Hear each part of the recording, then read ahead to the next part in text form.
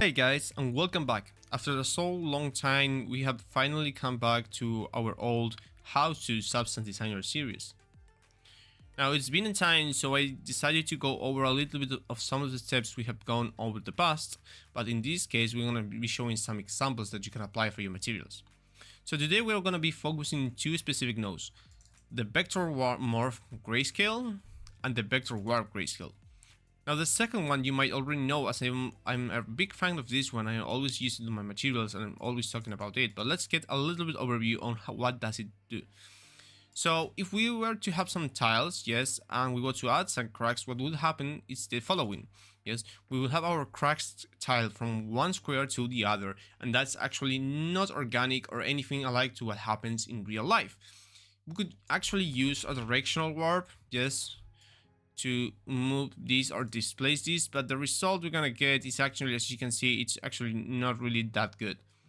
So what we need to do is um, take some advantage of this vector node. Yeah, so the vector warp grayscale basically gets an input of grayscales and it warps everything based on a color map or a vector map. So it depends the position of the color or the color of the of the shape, the the, the input is gonna be in a different position. Yes. So let's say I look here how this is working. So I took a mask from a, my tile generator into a flood fill and generated a flood fill to color. So each different color, yes, represents a different position on the image we are looking right now. And it's going to warp my cracks into different positions based in these colors again. So when I get into this node, I see that I have a mess, but there is like some square shape in the middle that is really nice. And if I plug this into my blend node, voila.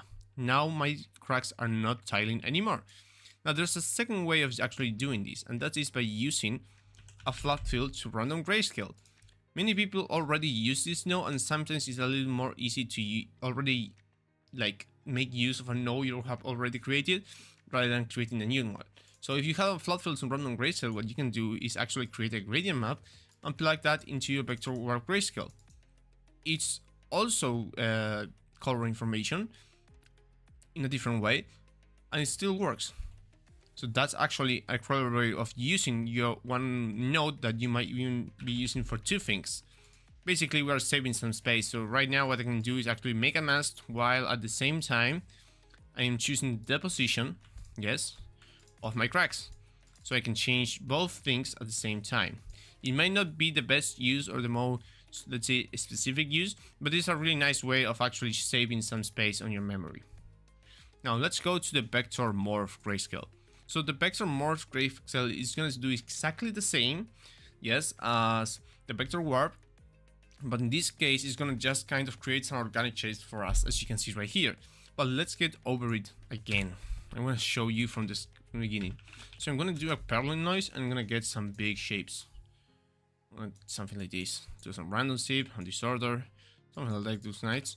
And I want to get, in this case, a Gaussian noise, you know? I'm going to make something like this, maybe and I'm gonna blend both together yeah copy by half then I'm gonna set this into the input and then into the gradient map and the result is the following let me plug this into my 3d viewport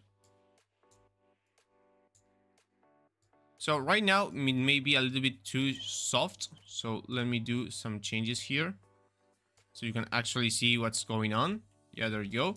And how we can actually control this. We can really control this in different ways to generate different organic surfaces or mostly I mostly use this one for snow creation and sand creation as well. You need to practice a little bit and explore a lot and that's actually the fun of this node because you can do actually a lot of things together. I'm gonna try using gradient dynamic in here. Yes, Maybe have some of these. Do this vertical and repeat. Have these used as a mask, but I think I'm gonna blend both of these together a little bit. Just a little bit. It's gonna give me a little bit better shapes on my material. A little bit sharp. I'm not gonna complain about it, but I think we can actually get here a HQ blur. Just to relax a little bit the shapes. It might work. Yeah, it's relaxing the shapes. I just need to use some high values. And in fact, I think I can also use a non-uniform color blur for this specific case. And I'm gonna use this turned into a grayscale. See how this works.